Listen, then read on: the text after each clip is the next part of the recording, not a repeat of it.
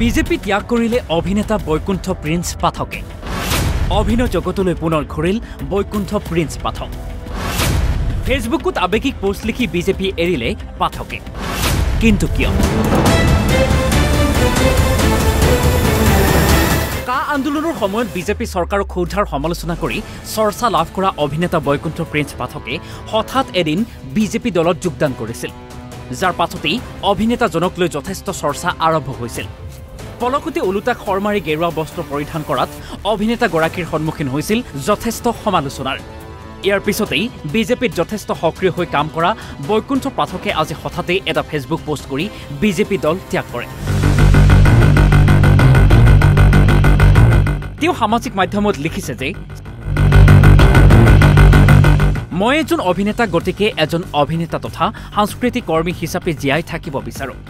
আজিৰে পৰা মই কোনো ৰাজনৈতিক দলৰ লগত জড়িত নহয়। সকলো ত্যাগ কৰিলোঁ।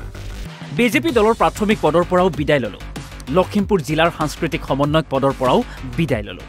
কাকো পত্ৰ নিদিওঁ কাৰণ মোকো একো পত্ৰ দি মতা নাছিল। প্ৰতিজন বিজেপি দলৰ কৰ্মীৰ ভাল কামৰ লগত সদায় আছো থাকিম কিন্তু ৰাজনীতি আমাৰ বাবে নহয়। ধন্যবাদ প্ৰাক্তন মুখ্যমন্ত্ৰী সৰ্বানন্দ সোণোৱাল ককাইদেউ। ধন্যবাদ ৰঞ্জিত দাস ডাঙৰীয়া আশা বৰদলৈ যতীন দা সুৰঞ্জন দা। সময় থাকোঁতে মই শুদ্ধ হোৱাৰ প্ৰয়োজন আছে বুলি ভাবি এই সিদ্ধান্ত ল'লোঁ। অসমৰ ৰাইজে মোক ৰাজনৈতিক ব্যক্তি হিচাপে ভাল নাপায়। গতিকে সাংস্কৃতিক কৰ্মী হিচাপে ৰাইজৰ বিপদ আপদত মাত মাতি আহিছোঁ মাতি যাম। জাতিটোতকৈ ডাঙৰ মোৰ ৰাজনীতি নহয়। এটা ভুলৰ বাবে মই জীৱনটো গালি খাই জীয়াই থাকিব নোৱাৰোঁ। ৰাইজ মোৰ বাবে ৰজা। মোৰ ভুলৰ বাবে অসমৰ ৰাইজে ক্ষমা কৰি দিব বুলি সেৱা জনালোঁ। লখিমপুৰ বিজেপিৰ সকলোকে ধন্যবাদ জনালোঁ। ইমান মৰম আদৰ দিলে। ভাল কৰ্মত সদায় লগত আছোঁ বেয়াত নাই। সময় থাকোঁতেই মই মোৰ নিজৰ পথত আহিলোঁ। কাৰো প্ৰতি বেয়া ভাৱ নাই আৰু নাথাকে। তলত থাকি মই যদি কাকো সহায় কৰিব নোৱাৰোঁ কিয় থাকিম? মূল্যবৃদ্ধি অন্য এক কাৰক দল এৰাৰ। আজিৰে পৰা বৈকুণ্ঠ প্ৰিন্স অভিনেতা।